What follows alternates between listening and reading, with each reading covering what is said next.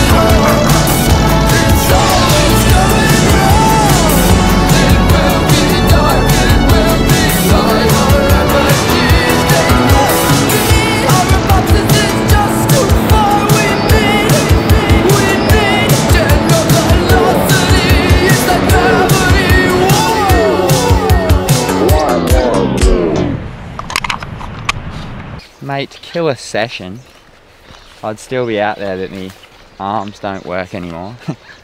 Copped a rail to the face. Might have a shiner tomorrow.